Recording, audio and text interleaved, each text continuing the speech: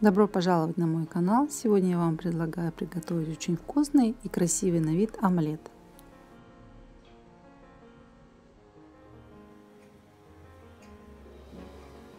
Сначала обжариваем грибы и перец по отдельности. Грибы жарим на большом огне до испарения жидкости.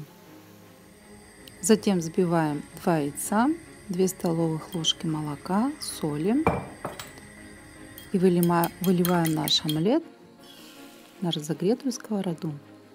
Как только наш омлет немного поджарится, выкладываем на него порезанный небольшими дольками сыр. Закрываем крышкой и жарим до, э, до того, как расплавится сыр. Затем выкладываем перец, на него грибы. Все это хорошо распределяем по омлету.